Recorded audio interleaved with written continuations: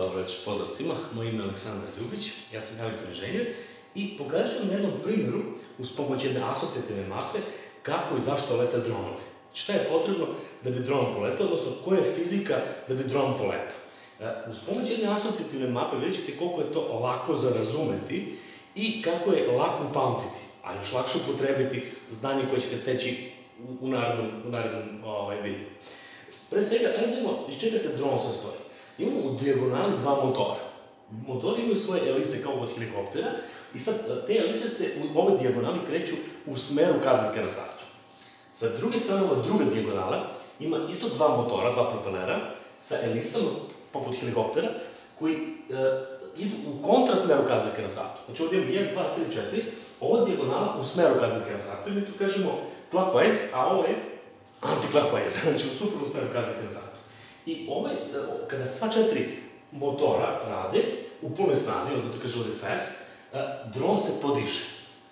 S druge strane, znači, ovaj tip drona, gde imate ovaj, četiri, da kažem, četiri motora, zove se quadcopter, samo reč kaže quadro, znači ima ovaj, četiri, četiri motora, i kada sva četiri rade u isto vreme, onda se podiže dron. Otprilike brzina jednog propelera je oko 28.500 rotation per second, znači rotaciju po sekundi. E, s druge strane, ajde nešto kažemo o samom motoru. Znači, motori, e, svaki od ovih motora je individualan i e, do njega ovaj, vodi elektronika koja upravlja radom individualnih motora. E sad, svaki dom ima ovaj, u dijagonali, da kažem, ove, možemo da posmatramo motore kao motore u dijagonali i možemo da kažemo, ovaj, to ono smo pomenuli, clockwise, anti-clockwise, znači u kom idu, ovi su smeru i sad ovi u suprotnom smeru gaznika satu. Sa njima se šteluje brzina i samo ta brzina motora određuje, e, da kažem, kako će se kretati dron. Šta još? E, ako se povećava brzina, e, doći će do promjene i ako se smanje brzina, doći će do promjene položaja drona. Vidjet ćete na sljedećem primjeru kako i šta. Možemo također motore da podelimo na prednje i zadnje. Znači ovaj 1 i 2 su kao prednji, a 3 i 4 su kao zadnji motori. I naravno, rekli smo vezano za dijagonale. E sad, s druge strane svaki dron ima daljinski ili telekomandu sa kojom, koja radi na, na, na bežni, na bežni način, tako što e, svaka, svaka telekomanda ima i svoje, da kažem, zasebno napajanje, već ovdje power, i ima svoju bateriju, znači baterija koja se nalazi u samoj telekomandi i baterija koju ima dron. Naravno, taj dron može da sadrži kameru koja može da napravi snapshot, da slika ili da snima iz vazduha.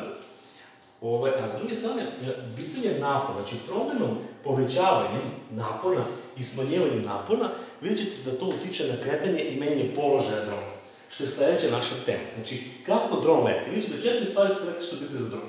Znači, sama brzina motora, čemu služe motori, kako ih možemo podijeliti, daljinska komanda, kako ona radi, kako ona šalje bežnim putem do drona signal, i na kraju kako dron leti. Znači, dron ima, e, može da ide, tako, napred, i ovaj, dron će krenuti napred kada treći četvrti, da kažem, zadnji motori budu malo jače radili. Oni će podići dron i on će poći napred. Znači, dron ide napred kada zadnje dva motora, 3-4, dobiju veći napon i dron ide napred.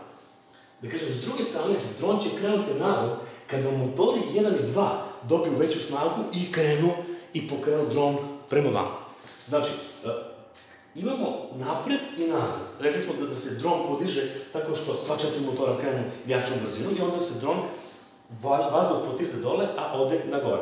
Smanjivanjem, da kažem, brzine obrtaja motora na dronu, sva četiri, dolaze do spuštanja drona i onda do prezimljivanja. Šta smo još rekli? Znači, to, to je to. Gore-dole, kada svi rade zajedno. Imamo sa druge strane, kako se rotira dron. Levo ili desno. U smislu, ako hoćemo dron da zarotiramo, da se okrene na levo ili da se okrene na desno, da bi se okrenuo na levo, radit će ova dijagonalna motora. Mnogo jače nego ova druga dijagonala. Znači, da bi dron išao na levo, treba dijagonala 1.4 motora da radi jače i onda će dron da se okrene. Zamislite sad imate ovako dron i ova dijagonala 1.4 i dron će se okrenuti na levo. S druge strane, kad imamo da radi par motora 2 i 3 malo jače, dron će se okrenuti na desno. inače on će se rotirati u mestu na desno. Odnosno, 1.4 na levo. Šta smo još rekli? Ako hoćemo da izuzetno dron odleti levo, potrebno je da partija motora 2 i 4 radi malo jače i oni će pokrenuti dron na levo. S druge strane, kada imamo rad motora 1 i 3 jače, da kažem, dobiju veći napon, podići će dron i dron će krenuti na desno. Znači, vidite, evo, na jednom primjeru, e, uz pomoć jedne asocijativne mape, mi smo uspeli da objasnimo ceo princip za nekih 5 minuta. I, ovaj, ali bitne su četiri stvari.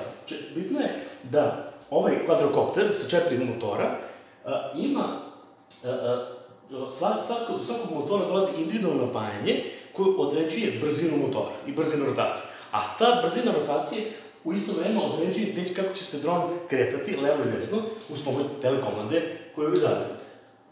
Tako da, evo vidite, to je, u, u pet minuta smo bukvalno s pomoć jedne mape razumeli princip i sad vi znate kako se dron kreće napred, kako se kreće nazad, kako uzleće, како иде на десно, како иде, односно на лево, како иде на десно.